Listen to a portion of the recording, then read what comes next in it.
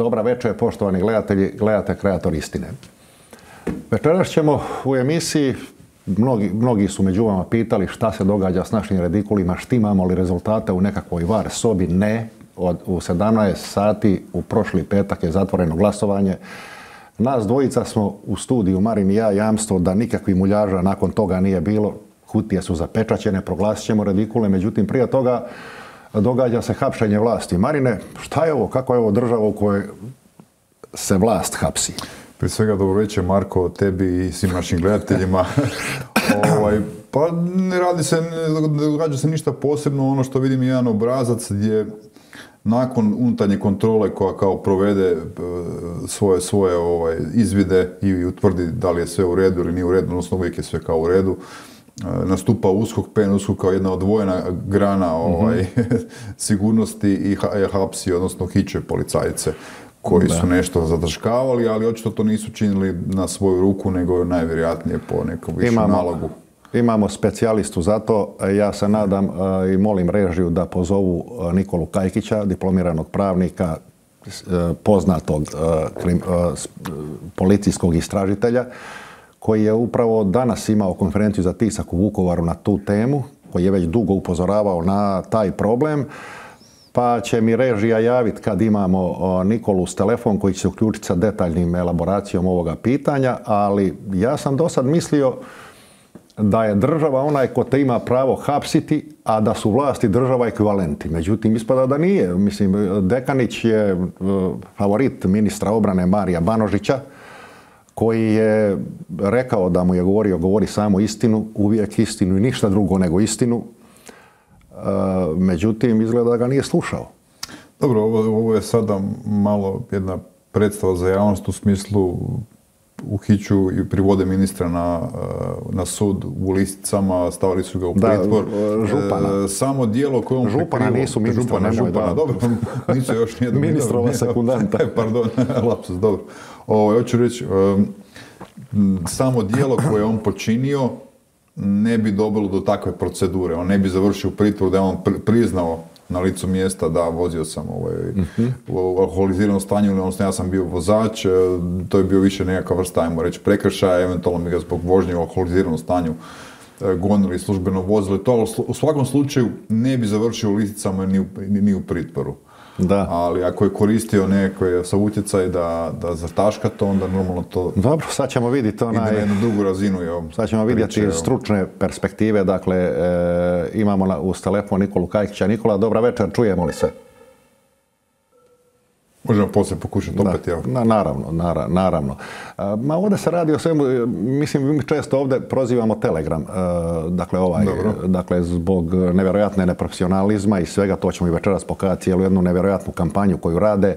Međutim, moram priznat, novinar Telegrama Drago Hedl, dakle je prvi odmah nakon tog slučaja nazad godinu dana napisao vrlo detaljno sve ovo što se danas zapravo stavlja na teret onaj Dekaniću. Nije mi jasno ta, ta prosudba, ta jedna nevjerojatna, rekao bi, socijalna neinteligencija, politička neinteligencija da se od banalne stvari, kako sam ja to razumio, od prekršaja stvori nevjerojatno kazneno djelo gdje je upetljana sudbina čitavog niza ljudi. Kako je moguće da, da, da ljudi, jesu li toliko bahati, slijepi, neinteligentni, o čemu se tu radi po tom mišljenju? Mm, mislim, kolega Gredl se specijalizirao za te za fenomen lokalnih šerifa, znači u u, širem smislu te, tog, značenja tog izraza.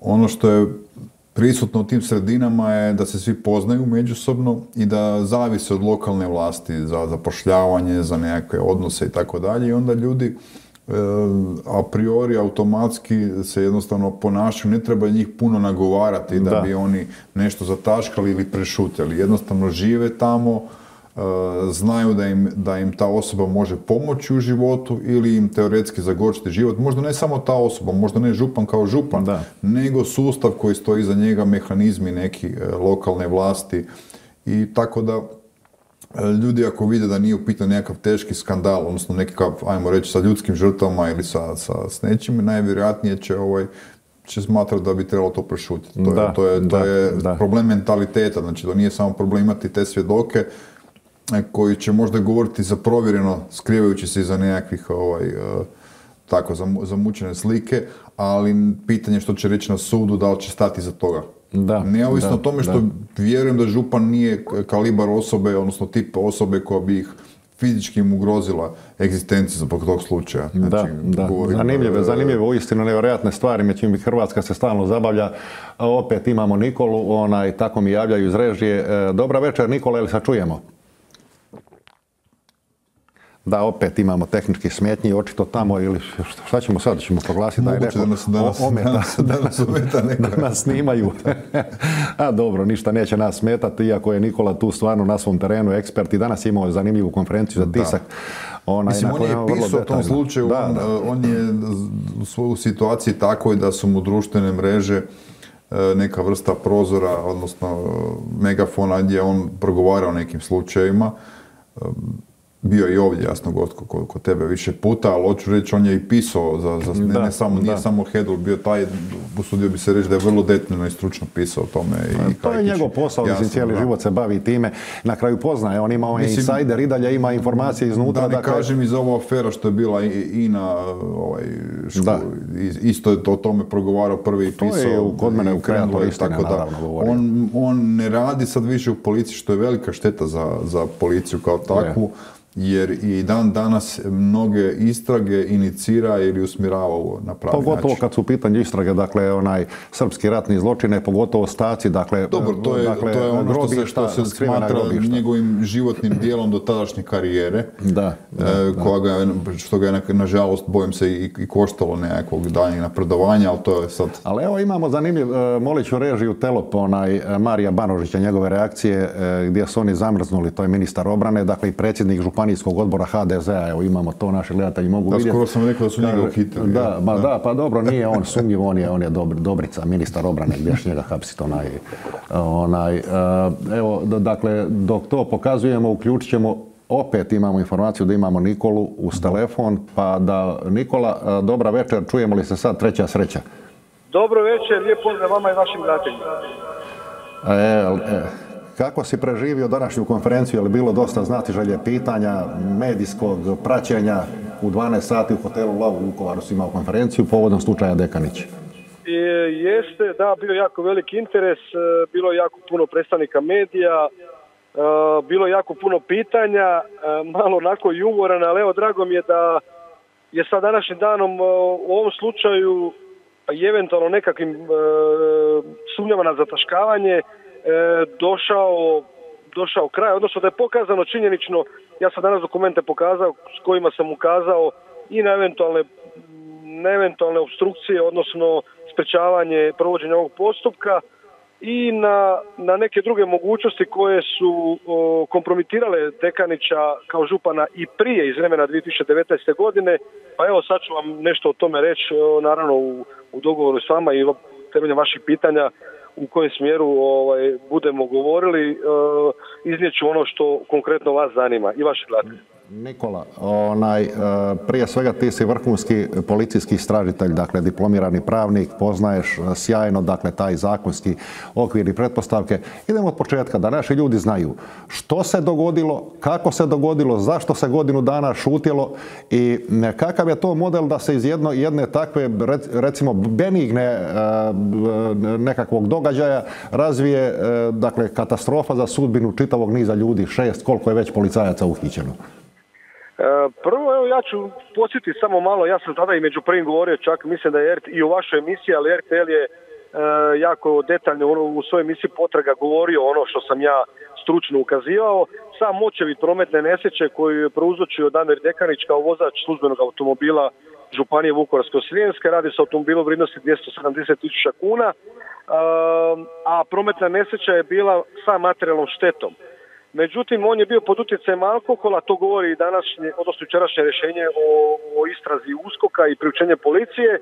On je s ciljem da prikrije taj cijeli događaj i s ciljem da, da ne mora platiti štetu budući da je upravljao vozilom pod utjecajem alkohola, e, inkriminirao cijeli događaj, odnosno fingirao prometnu nesreću na način da je e, kao vozača prikazao svog rođaka, a nažalost u tome su sudjelovali još neke osobe od vlasnice kuće koja je oštećena u toj nesreći e, njegovog rođaka i još nekoliko policajaca. Taj dan, odnosno juč, prekučer je uhapšeno ili uhićeno tri policajca, dok je trojici izuzet samo mobilni uređaj, iako je po meni E, trebalo i drugu trojicu procesuirati, s obzirom da je sad već izbjegnut taj afekt iznenađenja i te osobe mogu i prikriti nekakve dokaze, utjecati na svjedoke, ali očito je politika i lokalna prije svega utjecala na, na određene institucije da, da ne dođe e, do uhićenja i tije druge trojice s obzirom da su oni visoko rangirani policijski dužnosnici. Zašto se čekalo godinu dana? Gledajte, e, ja ću reći ovako, postoji propust sigurno, postoji puno propusta, međutim ja sam radostan, odnosno i kao svaki građanin zadovoljan da je pravda ili istina on događaj zaživjela i nakon nepunih godinu dana.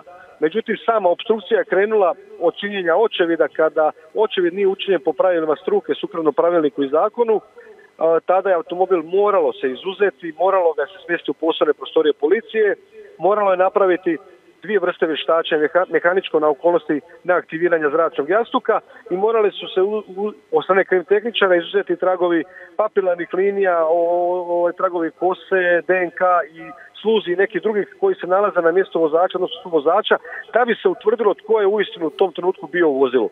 Nažalost, to se nije dogodilo, međutim, nakon mog ukazivanja putem javnih televizija, oni su s tim pristup, o tome pristupili nakon nekoliko mjeseci. Međutim, ono što moram reći, a danas sam na konferenciji pokazao, a to je e, cijeli postupak je započet još kaznenom prijavom NN građanina 19. travnja, to jest tri dana nakon događanja prometne nesreće, kaznenom prijavom koja sadrži opis teksta događaja uh, u 80% dijelu kako danas izgleda rješenje u istrazi. Znači da je temeljem toga očitog um, te prijave građanina ili NN policajaca koji je bio tamo, koji je detaljno opisao i kronološki u nekoliko mjeseci, a to je 2.5., 11.5., 17.5., 11.12. i 12.12. uskoku poslao još dodatna imena svjedoka i nove dokaze da su to osobe koje su otkrile istinitost tog događaja i bile uporne da se ovaj događaj procesuira, a to nikako nisu osobe koje su ovih dana držale konferenciju i rekli kako su zvali svaki dan uskok, uskok se ne može svaki dan zvati, niti se može dobiti, to je manipuliranje, iznošenje neistina. Svakako najveća zasluga za, u rješavanju ovog predmeta ide tim građanima kao i policajcu koji je drugog petog poslao meni jedno pismo na četiri stranice kojim je detaljno opisao tko je sudionik prometne nesreće, tko je radio očevi, tko je bio svjedok događaja i tko je zvao i tko je zataškavao. To pismo je naravno prosjeđeno i uskoku i sadrži također veći dio opisa ovog rješenja o istrazi i vjerojatno buduće ovaj, optužnice koja će se podići na okolnosti ovog cijelog događaja. A Nikola, vi ste i, i vijećnik Županijske skupštine, ne, nezavisni vijećnik Županijske skupštine, bili ste vrlo relevantan kandidat za župana Vukovarsko-Srijemske županije s odličnim rezultatima dakle praktično bez ikakve infrastrukture. Recite mi kakve će političke posljedice na onako prilično e, iskreno rečeno uzdrmanu županiju e, sa nevjerojatnim demografskim svakakvim političkim sukobima e, različitog profila sa nerašićenim nasljeđem domovinskog rata, srpske agresije. Kakve će to posljedice ostaviti? Očekujete li nove izbore? Iskreno, mislim da do novih izbora neće doći. Iako moram ovo prije ovoga vašeg pitanja reći da smo nažalost dotakli dno. Mi smo županija gledajući po, po onome u čemu smo najgori, jel? Najgori smo, odnosno najlošiji smo po stopi zaposlenosti, po prosječnoj ispravljenoj plaći, po bruto domaćem proizvodu. Sad smo najgori s obzirom da često osvi, izlazimo i u crnoj kronici, ovo je jedna velika sramota da je e, župan e, koji je po funkciji je jako visoko i mnogi građani ove županije u njemu su vidjeli nekako svjetlo na kraju tunela da će ovu županiju povesti u bolje sutra. Nažalost, ne samo što je nije poveo bolje sutra, na, nanio nam je jednu veliku i sramotu, naštiti ugledu i županije i cijeli, e, cijelog našeg stanovništva. To nije dobro, međutim ja mislim da do novih izbora neće doći.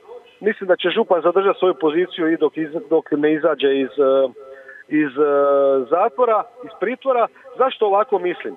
Zato što se na prvoj županijskoj sjednici Skupštine nakon uh, ovog događaja iz travnja 2022. godine uh, Županijskoj skupštini dao prijedlog da se izmeni dnevni red i da se kao prva točka dnevnog reda uvrsti izvješće župana i da on nam objasni zašto je vozio pijan, a i zašto je razbio službeni auto izvan radnog vremena, a ako on nije vozio, zašto je dao službeni auto neovlaštenoj osobi da upravlja, tko će platiti štetu, pokriti troškove osiguranja, kao i drug, drugi, diz, drugi niz e, činjenica vezanih za ovaj događaj. Pazite ovo, i oporba, i vlast, znači od HDZ-a, suverenista, SDSS-a, domovinskog pokreta, pazite, domovinski pokret je bio protiv mog prijedloga, SDP je bio protiv mog prijedloga. Jedino ja i kolegica koja je bila nezavisna u mom klubu, mi smo bili ovaj, za izmjenu ovoga dnevnog reda. Pa onda o čemu pričati, ja gledam neki dan, ne znam, gostuje netko na televiziji i, i govori o ovom događaju i zalaže se kao da je on pokrenuo, da je on to riješio. E, cijeli događaj, a bio je protiv mog prijedloga, to smo još mogli riješiti u svibnju prošle godine, da je župan izašao i morao odgovarati na naša pitanja, nisu mu to dopustili, odnosno skratili su moj prijedlog. To sve govori o toj političkoj neiskrenosti, o političkoj trgovini unutar županijske skupštine koja seže i do razine sabora, znate. I pomlako, evo vjerujte mi, izgubio sam volju za politiku, izgubio sam volju kad to sve vidim, tu trgovinu i, i manipulacije, e, postavljam se pitanje šta uopće ja radim tu, jer takvi ljudi ne zaslužuju da sjede na takvim mjestima. To nije dobro, evo, moj zaključak. Ma, ja bih samo Nikola htio postaviti jedno pitanje vezano uz, ovog, uz osobu koja je navodno vozila, odnosno kojeg je župan zvao da, da mu pomogne u ovoj situaciji. Ta osoba je osuđivana i pritvarna radi pokušaja ubojstva, znači napada nožem. Mene zanima, evo, čisto s političke, socijalne strane, koje je tvoje mišljenje o, o, o tim vezama da političar na takvoj funkciji u ovakvoj osjetljivoj situaciji zove osobu koja je radi napada hladnim oružjem, pokušaja ubojstva sjedila u zatvoru. Jel? Kakvi su to, kakav je to mentalitet koji je to kultur, kulturološki, mislim, socijalno, što to znači za, za ovaj, govori o politici u Hrvatskoj? E, vidite, odgovorit ću vam na vaše pitanje. U takvim trenucima on je zvao osobu od povjerenja, ne osobu koja odgovara opće stanju društva, po izgledu, opisu, funkciji, zvanju i, i ne kaznene odgovornosti. On je vidio u takvoj osobi osobu od povjerenja koja ga neće izdati, koja će ustrajati biti sa njim. Očito da mu na taj način vrati nekakav dug iz prošlog vremena. Međutim, gledajte sad nešto. Postoji još policajaca koji su sudjelovali u organizaciji ovoga, poticali policajca da se ovako čini ili ne čini u inkriminiranim radnjama. Tih policajaca nema u rješenju o istrazi, ti policajci su samo ostali bez telefona, ti policajci nisu uhićeni. A da oni nisu poticali ove policajce koji su radili očevid, ne bi ni došlo nikad do ovog događaja.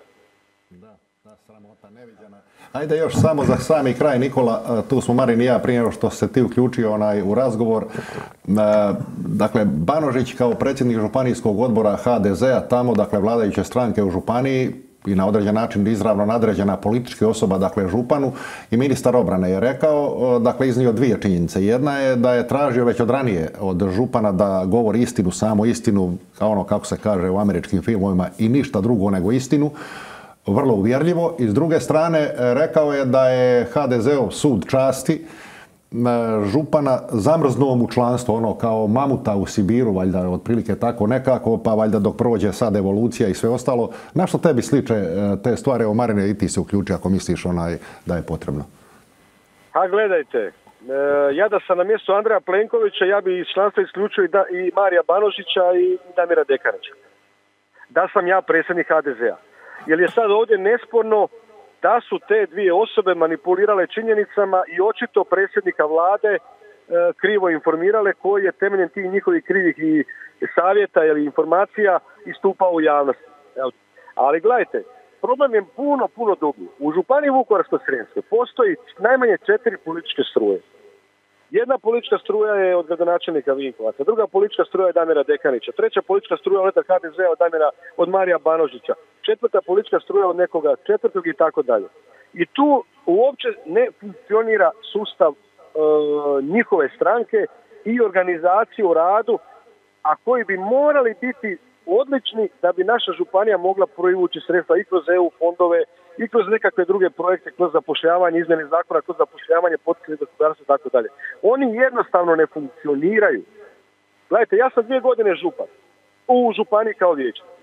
Ja sam započeo rješavati nagomilane probleme županijske bolnice, to sam prijavio USKOK i policiji. Nedavno su nekakvi ovaj, prijavljeni kazneno strane policije nekakve osobe, USKOK provodi izvide. Uh, sudjelovao sam u prijavljivanju ravnatelja bol, ovaj, Doma zdravlja pri županiji Vukovarsko-Srijemskoj koji je zlouporabio položaj i nanio štetu oko 400.000 kuna županiji zaposljevajući osobe koje nikada nisu došle na posao. Ja sam započeo i pokrenuo inicijativu o otkrivanju kriminala u PIS-u, Prida Istoče Slavonije, koja je firma u vlasništvu, većinskom vlasništvu Županije Vukovarske sredske. Dao sam svoj doprinos da se razotkrije istina e, i o događaju o slučaju Dekanić. Nemam, ja ne želim tim ljudima ništa loše, samo sam smatrao da treba reći istinu i da građani zaslužuju o, o ovom postupku istinu, jer ako mi obični ljudi moramo platiti kaznu za pojas brzinu, pa mora i župan odgovarati za vožnju pod utjecajem alkohola i izazivanje prometne nesreće uh, pod utjecajem alkohola. To nikako se ne smije prikrivati, sakrivati. Bilo bi ljudski da je se to, kad se to dogodilo, da se javno ispričao, platio kaznu, platio štetu. Ja vjerujem da nitko u županijskoj skupštini, a i u županiji ne bi mu zato ovaj, značajno iznio nekakve prigovore. Jednostavno plaćajući kazne, prihvaćajući odgovornost, plaćajući štetu, ovaj, popravljajući službeni auto, on bi umanjio štetu i bio bi danas dan župan. Međutim, gledajte, problem seže puno ranije, još iz 2019. godine kada je trebao ostati bez vozački plati kaznu, tada je to prikriveno, izdana mu je samo opomena za alkohol, za vožnju pucem alkohola, izazivanje prometa nesreće. Nije tada kažen, osukolio je se, odnosno dao si je za pravo da može opet činiti tako nešto, to nije prestalo, nego nažalost postalo je kontinuirano i moralo je doći do štetne posljedice evo ovakav kakav je. Nažalost. Evo meni je iskreno, još moram reći, meni je iskreno žao. Ja sam oporbeni vijećnik i doista nemam sa HDZ-om nikakve veze. Ali evo ja se kao županijski vijećnik želim ispričati svim građanima i općoj javnosti zbog ovog općeg stanja i ovog sramotnog događaja. S obzirom da ispriku nećete dobiti od HDZ-ovaca. Nažalost. Nikola, Nikola, hvala ti. Ovdje indikativno nastavit ćemo razgovor na ovu temu u emisiji, onaj e, ti i ja fizički u studiju.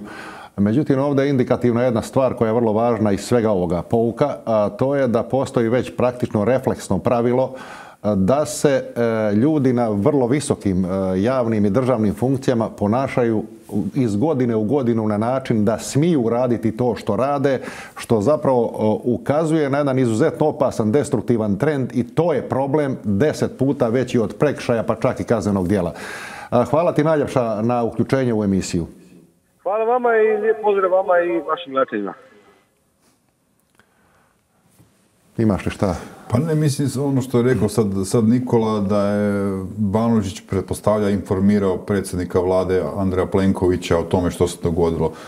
Po meni ti kanali informiranja trebaju biti drugačiji. Ne može e, ministar obrane kao nekakva vrsta neformalnog uh, političkog vođe, guvernera tog, tog prostora informirati o tome što se dogodilo, pa ne može ni sam akter, gospodin Dekanić, uvjeravati u nešto. Službe moraju funkcionirati i premijer mora od njih dobivati ove informacije. to je bit stvari, država mora funkcionirati. A ne, on mene uvjerio i on je meni rekao, to je, mislim, nije, nije razina države. Ma, tragikomično djeluje kao mi ćemo zamrziti njegovo članstvo, mislim, iskreno to me podsjetilo malo na ove mamute koje u Sibiru pronađu nakon 5 milijuna godina i šta ćeš sad za 5 milijuna godina ćemo otkriti je li to bila pogreška ili nije. To je samo nastavak krkanluka od pijane vožnje do pijanog vođenja države.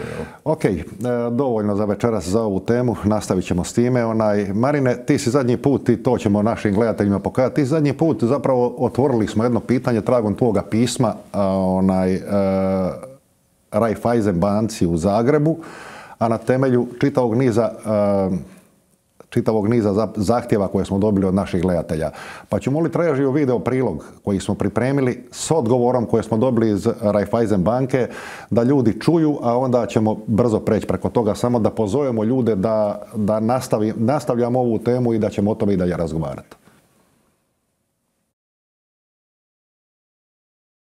U slučaju kada klijenti imaju financijske poteškoće, banka im nastoji osigurati uvjete za izlazak iz prezaduženosti i pronaći rješenje restrukturiranjem kreditnih obveza i ostalim instrumentima olakšanja otplate preuzetih obveza kako bi iznos mjesečnih rata bio u skladu s primanjima klijenta.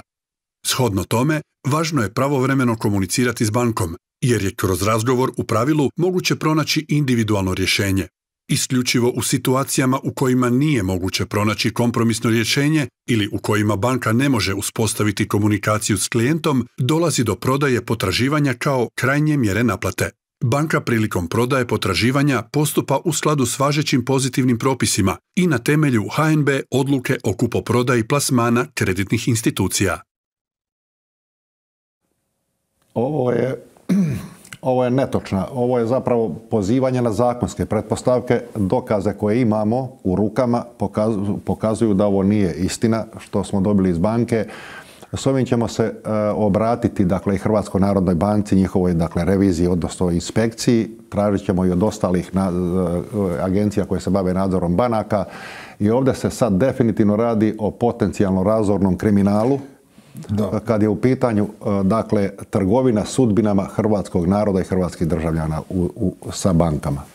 Ono što je, što je problem je slična situacija kao u energetici. Imamo ljude koji su radili u, za državu, znači u HEP-u, u državnom sektoru i prešli su u privatni sektor energetiku gdje koriste e, nekakve svoje kontakte, veze, saznanja, pa čak i gotove projekte da bi profitirali u, u, u privatnom sektoru, znači u energetici. Kad govorimo o bankarskom sektoru i pozivanje na HNB, problem je u tome što dio menadžmenta Hrvatske narodne banke se ili regrutira i povezan je s tim bankarskim sustavom.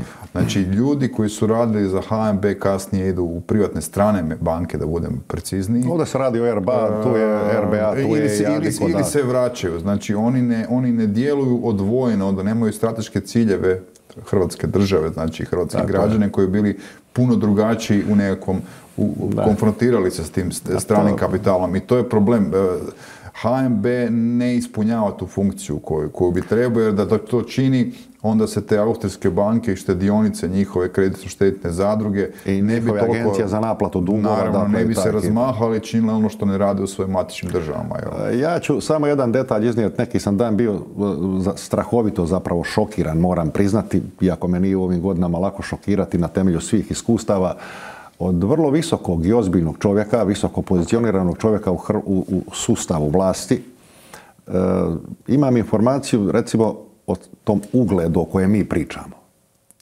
I definitivno ugled Plenkovića, koji realno ima u Brislu, nije jednak ugledu Hrvatske države. E, taj raskorak je vrlo opasan. Naime, svaka šuša iz Njemačke, iz bilo koje druge takozvane velike zemlje Europske unije može doći ovdje i izvikat se u, na skupinu hrvatski, visoko pozicioniranih ljudi i to s porukama otprilike zapravo vi ste slijepo crijevo Europe, šta vi očekujete od nas, eto vam Srbije, to vi ste zapravo, radite nam probleme, nemate vi veze sa Slovenijom, Slovačkom, takve nam se poruke u lice govore u sred Hrvatske.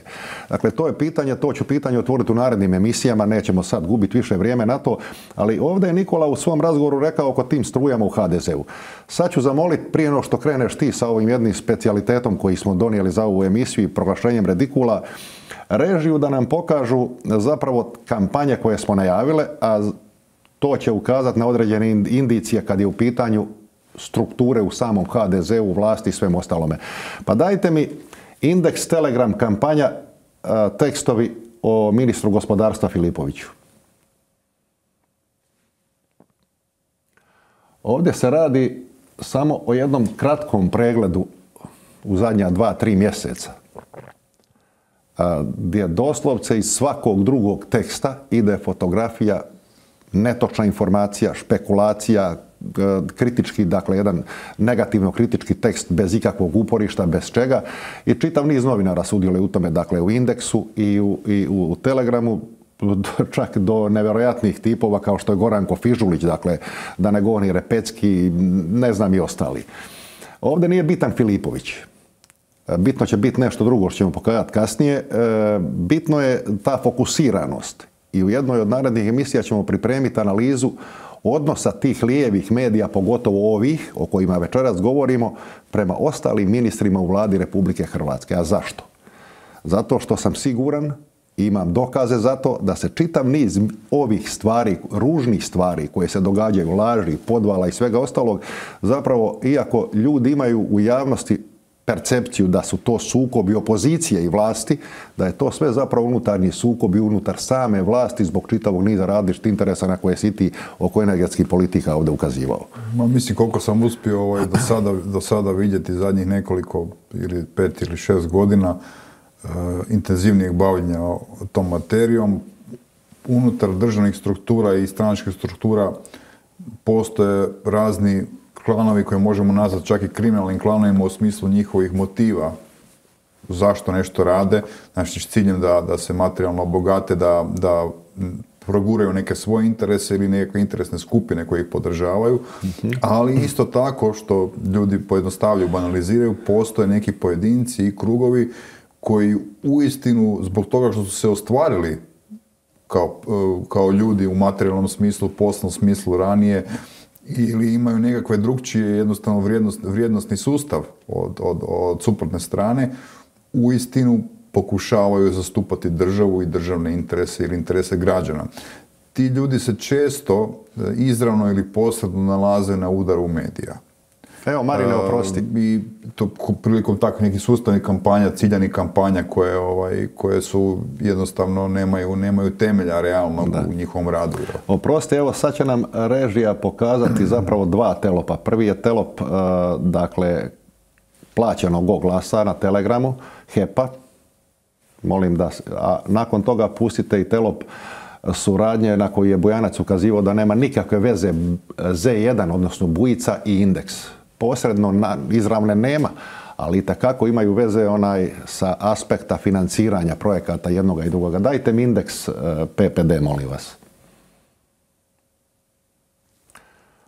Mlinarić, kampanja, PPD, humanitarna akcija, djeca, indeks promovira, PPD financira. A vidjeli ste u, vratite mi prethodni e, telop, e, na njemu vidite da Telegramu HEP, na čijim je čelu Frane Barbarić, kome je Filipović tražio posebnu nezavisnu reviziju. I usprkos čitavog niza sumnji na taj spektar HEP, i mi smo ovdje govorili o tim oglasima, Hrote, Hera, PPD, Ivo Milatić, dakle ti ljudi opstaju i vode kampanju protiv ministra. Mislim, ovo je, ovo je strašno zapravo kad gledaš, jer e, imamo PPD koji je najsnažnija, najveća, ali u nekim segmentima možemo reći i se suspektna tvrtka, velika tvrtka unutar države koja se može nazvati državom unutar države, e, koju novinari u svakom slučaju trebaju istraživati, analizirati, propitkivati e, njihov rad. Znači indeks, njihov partnerstvo s indeksom. I s druge strane možda još čitiji primjer HEP kao jedna notorna e, državna, državna firma koja je zloglasna u smislu svog odnosa prema građanima, e, uhljebljivanju, brojnim aferama, nestancima, milijunima i milijunima i to još u kronološki gledano još od vremena i prije Sanadera, e, koja de facto je u jednom partnerskom odnosu, sponzorskom odnosu sa Telegramom koji se reklamira kao istraživački medij, znači kao specijaliziran za istraživačko novinarstvo, još traži od građana novac da mu doniraju kako bi oni mogli istraživati. Pa nekim HEP da onda, jo. Ma upravo to hoću reći. Dakle, kako ljudi ne primjećuju pozadinu tih stvari na koju mi stalno ovdje ukazujemo i zapravo to i je smisao, ponavljam, jer mnogi će i sad reći kako smo mi dali ime, kako sam ja dao ime emisiji da sebe i tebe stavimo u, funkciju kreatora istine. Mi dekreiramo dakle, kreatore, razobličujemo tu stvar i ovo je jedan od detalja da, da ljudi vide, ja neću optužiti HEP da je naručio tekstove protiv Filipovića. Ali vrlo je simptomatično da... Pa ne, nije to, nisu te veze tako banalno. Vrlo je simptomatično da oni plaćeni oglas, plaćenu kampanju, recimo, što ne, što ne financiraju, evo, kreator istine. Mi smo deset puta važnija emisija sa većim dometom, sa većim e, društvenim utjecajem na, na političku higijenu u Hrvatskoj, nego Telegram. Međutim, tamo su našli financirati i gle čuda, oni odjednom imaju nešto protiv Filipovića koji je, gle čuda, naručio e, neovisno istraživanje, dakle reviziju, jer očito nije vjerovao onome što Frane Barbarić radi. Dovodi li to samog Plenkovića u neugodnu poziciju, zapravo i tu projekciju čistoće hrvatske vlasti i ono što smo jednom ovdje govorili ti i ja, onda i Raspudić i čitav niz ljudi koji šapuću o tome da imamo praktično paralelno uplavljane, nedodirljive ljude, e, jedne koji imaju legitimitet izborni, politički, a druge koji imaju Plenkovića legitimitet. Pa dovodi ga u nezgodnu poziciju pod uvjetom da, da je to nešto što on ne želi. Ali ako je to nešto na što je on pristao, onda on ne doživljava to kao neugodnu poziciju. Ali s aspekta izbora, legitimiteta, povjerenja ljudi u državu i u njega... To je nešto drugo, ali e, ono što ljudi zamjeraju Plenkoviću nisu sigurno veze, barem javno, nisu veze sa Pavom Vujnovcem, ja, recimo. To, to, nije nešto što je u njima u, u, krupnom planu per, percepcije građana Republike Hrvatske. Oni ne vide da je to problematično. Njima se guraju neke druge stvari. Da, ovaj, kao... kako nije bio u domovinskom ratu, pa kako je nekakav čatolik, Brisel, dumovi, da, ono, to su, Znači, ne, vide recimo koliko je... Evo, to opasno. Koliko je opasno da država trenutno upravlja Forte Novom Znači, Evo, ne, imaš, imaš i daj, molim te, u 5-6 minuta taj primjer koji sam iznio. Mi smo, mi smo već prije govorili o tome kako je, su kompanije povezane s Pavom Vujnovcem po, postali glavni distributer voća i povrća za, za konzum. Da, Ena Fruit. Da, da, i mislim jednostavno postali su posrednik znači između ovaj trgovca i uh, proizvođača, znači ne samo proizvođači nego su postali i posrednici. Uh, do neke mjere to je slično kao ono što su radili ovaj, kad, kad se radilo ovaj, o uvozu plina. Da. Opet bespotrebno. Koja je vaša funkcija? Zašto što će mi posrednik kada se mogu sam dogovarati? Kad se zna da posrednik povećava cijenu. Upravo tako. Znači, e, ali ostavimo na stranu sad to. E, slučaj je otvorio 24 sata prije nekih 10 dana. To je pitanje nekretnina u gradu Zagrebu. E, te nekretnine su formalno bile u vlasništvu nekakvih Mađara. E, jedna je, ova nekretnina je e, konzum, znači na Trešnjevačkom placu, mhm. a druga on je najveći konzum na Črnomercu i tu još su, ne znam, ono, prostori od ciglane pa sve do, do, do, do tog okretrišta tamo na Črnomercu. Uglavnom radi se od 70 tisuća metara kvadratnih prostora, sve skupa. uh I dvije tvrtke Stela nekretnine i Ciglana nekretnine su, su bile u posjedu toga, iako e, cijela stvar je što najvjerojatnije sumnja se da je e, sam gospodin Todorić, odnosno Agrokor, bio vlasnik te toga. I to se može lako zaključiti jer recimo nije naplaćivan najam da, logično. E, Nešto kao DM što dug, znači, da, da, dug, tako je, znači dug za najam e, konzuma tog na Črnomercu, super konzuma, je došao do 20 milijuna, 20 milijuna eura. Nije naplaćivan, znači mhm. konzum to nije plaćao. I kakve veze e, Vujnovac s tim ima? E pa Vujnovac je sada preko tvrtke Arh Koncept vlasnik svih tih nekretnina mhm. koje su bile znači od Stela nekretnine, od Ciklana nekretnine i to je vrijednost od kakvih 55 milijuna eura. Fabris Peruško i Pavao Vujnovac, njihov odnos je nešto što bi trebalo preispitati. U predsjednik, dakle, uprave Predsjednik e, uprave, tako je, tako, i većinski vlasnik Jer Fortanova je imala interes da preuzme ove dvije tvrtke ili ih jednostavno prebaci nazad sebi, da, preuzme kontrolu nad njima i samim time kontrolira i taj, te dugove tog najma. Što su to odbili, jel?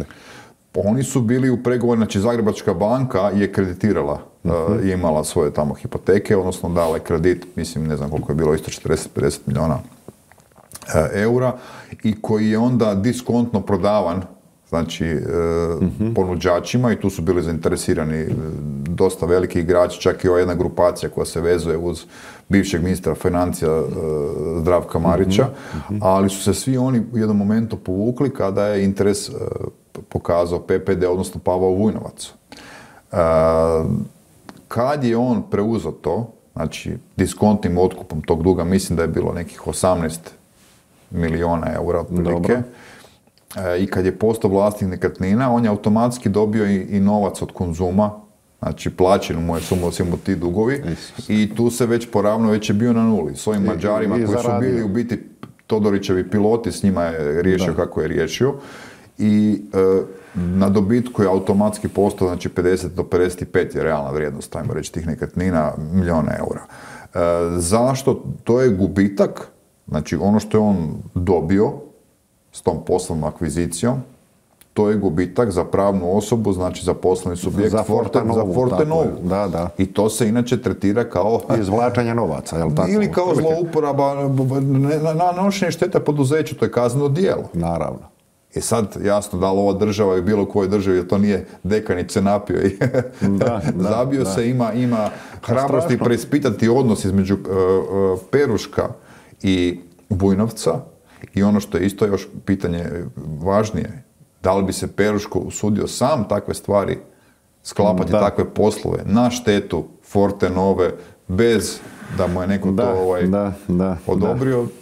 To je veliko pitanje, slažem se, nisu ti ljudi toliko hrabri koliko ispada ovako kad ih se gleda, pogotovo što smo mi, evo, ti i ja nekoliko puta ovdje u Mislim, lako je tako se obogatiti i biti uspješan, Gle, ajmo reći. to je, ako- ako to je, to da. je priča koje smo, koju slušamo već 20 i nešto, 30 godina praktično od, početka samostalne, obnove samostalne države.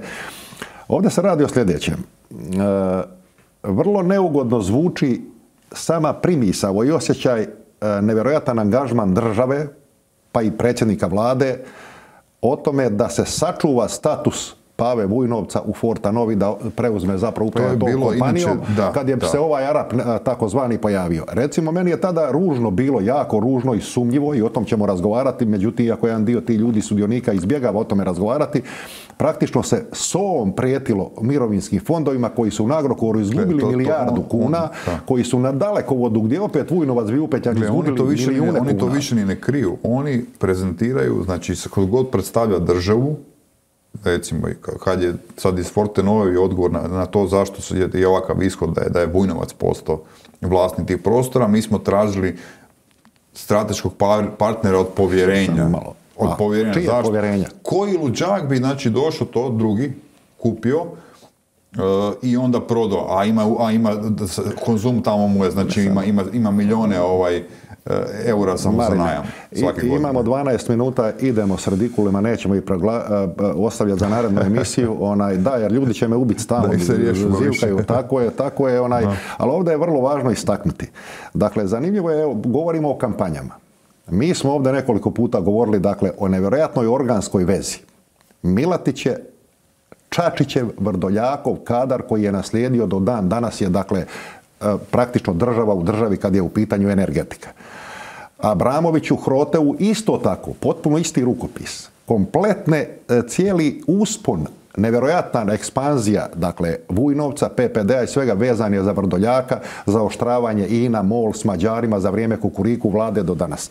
Dakle, to su stvari o kojima se mora govoriti jer iza toga se kriju deset puta važnije i opasnije, razornije politike od toga jesmo li mi Putinofili ili Zelenskofili. meni je, meni je Tu iz su- krugova, meni je ovih znači, poduzetnika koji se bave e, tim alternativnim izvorima energije i koji su ljuti i bijesni bili na ovoga Milatića, istupali su Da, u nacionalu, da, da, da. govorili ovaj, o tome i u drugim medijima i tu je krenula i nekakva, ajmo reći još, kampanja da, da im je posebnim putem ih su zamoljeni da, da se stišaju, da se smire, jer ovaj, da eto, vrh vlasti ne bi htio da se Da, to... ali ovdje da se da radi se na- o da a, nastave. milijardama kuna i milijunima i stotinama milijuna eura. Dakle, to je bitka za moć, projekciju moći u narednom razdoblju koja i takako utječe na izbore, na medijski poredak. Vidimo to dakle, u svakom trenutku. Međutim, vrijeme je za pobjednike Radikula 2022. godine.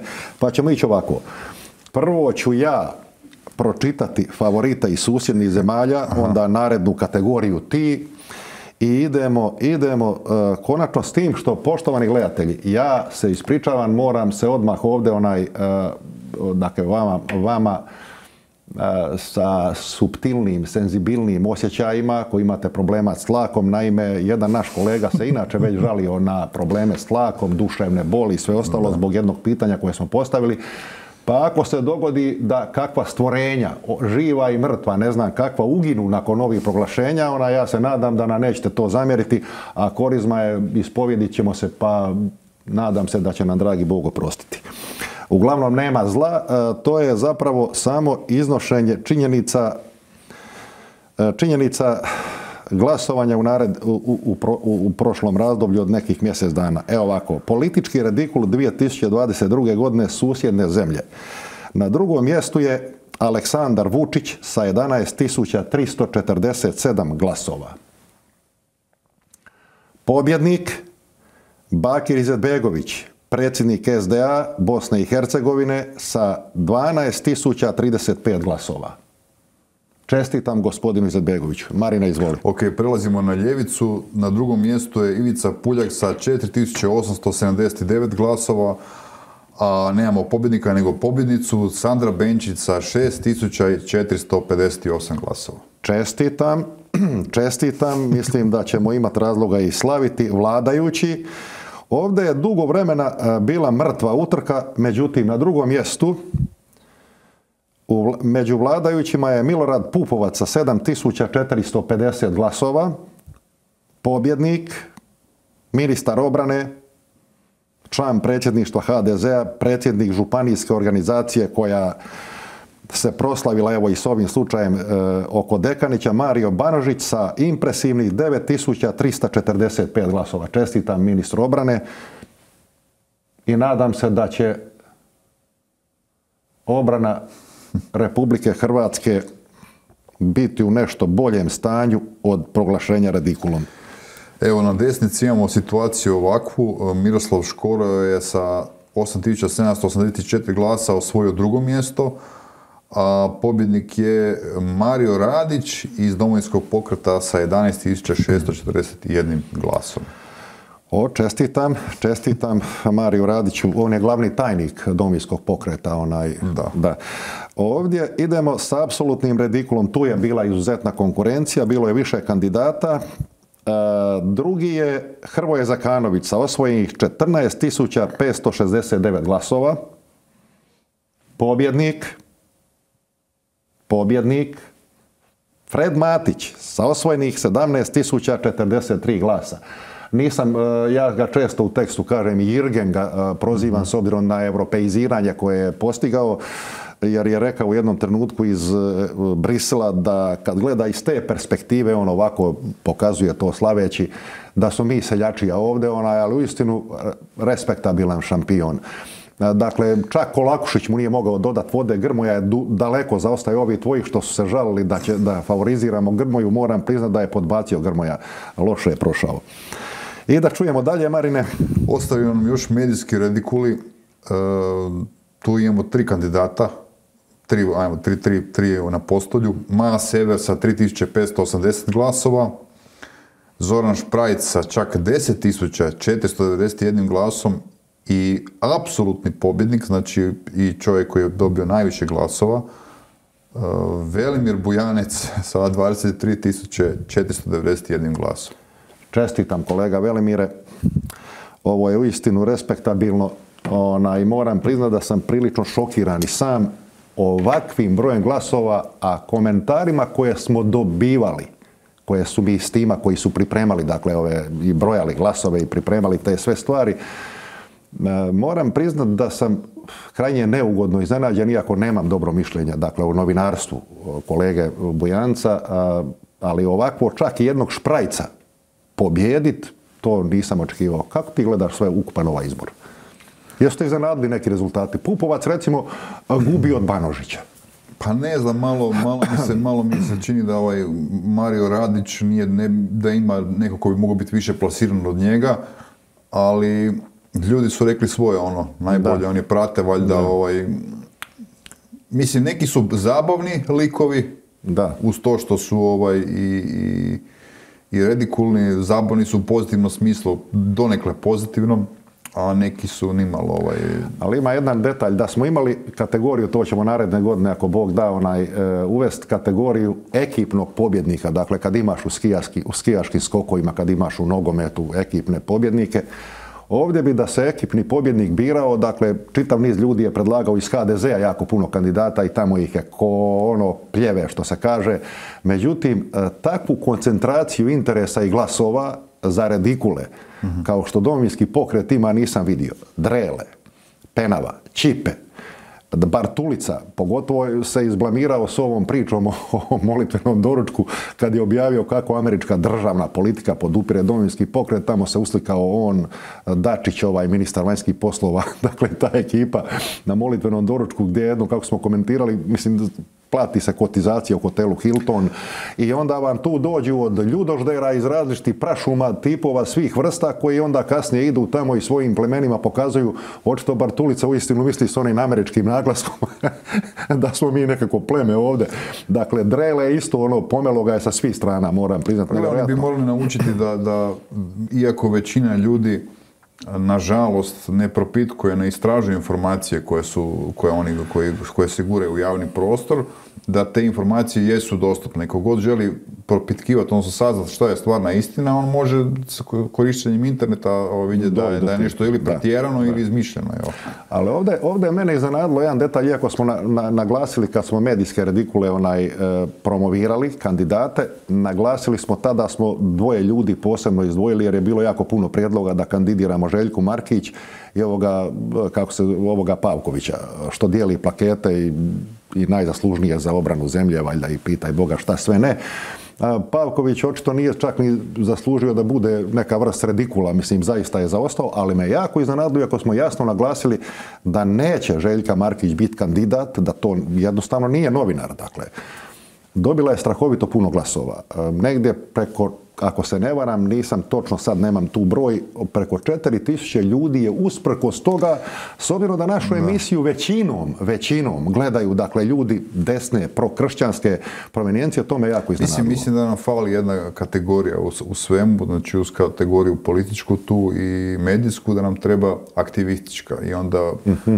ona bi se mogla nazvati onda aktivistom i vjerujem da bi tu bila uh, favorit. Da, jer, jer, iskreno ja sam, ja sam mislio, ako nisam, ne, ne palim odavno na te poruke, s obzirom da je ona nekakva voditeljica cijelog niza događaja od hoda za život ovoga, onoga, Očekivao sam zapravo da ima bolji ipak status, iako što se mene tiče odavno znam o kakvoj je priči riječ onaj, međutim to me je iznenadilo. A, zanimljivo bi to moram reći zbog jednog kolege ko, koji mi je drag. Nije bog zna kakav lumen novinarski onaj Kazimir Mikaša kazao, dosta je ljudi, što je najgore, čak i oni koji piju kavu s njim i toga želim upozoriti, e, su mi predlagali da njega kandidiramo, eto, čisto iz Afrikancije. E, Kazo nije loša osoba, on e, podupire vlast često apologetski, dakle, počev od Karamarka, Kolinde Grabar-Kitarović, Plenkovića. On je takav, on je desničar po provenijenciji, po profilu, nije zla osoba, piše kako piše, nekom se to sviđa, nekome ne sviđa, ali nije fair pit s čovjekom kavu, a predlagat ga meni ovamo, zato što sam ja nekoliko puta pecnu u nekim svojim tekstovima i tim stvarima, onaj osvrtima, to on ne zaslužuje. Kazimir Mikaše Kazo ne zaslužuje status redikula i to sam želio reći. Ne znam ili ti poznata ta osoba. Pa znam, znam nešto o, o, njemu, odnosno o njegovom radu, ali nisam neki fan i čitatelj. Ma dobro, naravno, to je sad pitanje izbora. Onaj, na kraju više smo mi svi zajedno skupa gledajući ove ljude i ovo o čemu večeras pričamo, poslija se pitanje koliko, koliko smo mi kao narod doveli, došli u status redikula onaj, i to je najopasnija stvar iz svega toga. Pa, treba izlaziti iz tih nekih okvira koji su postavljeni, govorimo o novinarstvu, znači ako je neko kao desni, konzervativan, ovako te etikete, to sve skupa treba se toga rješavati i svojim radom e, širiti horizonte i razmišljanja i suprotnoj strani malo ulaziti u njihov prostor, ne dopuštati tome da, da sad stojiš na nekom mjestu i braniš neku poziciju ko da, ni, da. da si tu utaban i to je to. Znači, kao, kao da je svetinja, nema svetinja u politici, u društvu, dakle u tim stvarima jednostavno moramo razgovarati kao što mi onaj... Moraš, moraš biti malo slobodnije razmišljati i, i ovaj, ali dobro svako, svako radi u skladu sa svojim kapacitetima i to je to. E, molit ću režiju, prije nego što mi završimo razgovor i odajemo jednu, e, bio mi je nedavno u emisiji u ime naroda gost e, sjajni intelektualac, profesor s političke znanosti Boris Havel, čovjek koji razbija taj stereotip o tome da je to ljevičarska utvrda, nažalost u čitavom nizu stvari jest, međutim promovirali smo knjigu Izrael narodu danu rođen. Promocija ove knjige, e, poštovani gledatelji, vidite, je u židovskoj općini. Mislim da je utorak, ne vidim odavde dobro, 21. E, ožujka e, u 19 sati i iako se radi o knjizi koja nosi naslov o Izraelu, iz dubine duše jer sam uspio, ako me Boris prepao, s obzirom se radi o knjizi od tisuću stranica, da neću stići, ali ja sam uspio pročitati veliki dio te knjige, to je zapravo knjiga o hrvatskom identitetu. Priča o judejsko-kršćanskoj, helenističkoj strukturi, dakle, koja je dovela do toga da smo mi ovakav narod iz dubine duše preporučam, otiđite na promociju, a mi ćemo u petak nastaviti. Idemo dalje, da. Razobličavati Bilo su još neke reakcije koje sljedeći put ću ih spomenuti vezano uz ovoga DM. Malo su me neugodno iznenadili način na koji se brane od toga, ali budemo se i s tim pozabaviti. Ići ćemo i s time, ići ćemo svakako, dakle, nastavljamo raspravu, dakle, ovim, dakle, o toj e, sinergiji tako je, da. Banaka i medija, oglašivača, medija, oglašivača svega ostaloga. A evo, nadam se dakle, da nećemo imati posljedica kad su u pitanju pobjednici naših redikula. Mi ćemo naručiti dakle, i odgovarajući znak, neku vrstu krune ili nečega, pa ćemo onda ljudima dati, naravno, u prigodnim okolnostima. Kapa od volske lude, recimo. Evo, tako, je, nekako onaj... Više nije toliko hladno, ali dobro. Dobro. Hvala ti najljepša na gostovanju. Hvala tebi na gostovanju. Poštovani gledatelji, gledali ste Kreator istine. Do ponedeljka kad mi u emisiju Ime naroda dolazi Davorko Vidović, predsjednik socijaldemokrata Hrvatske. Ugodnu večer i laku vam noć.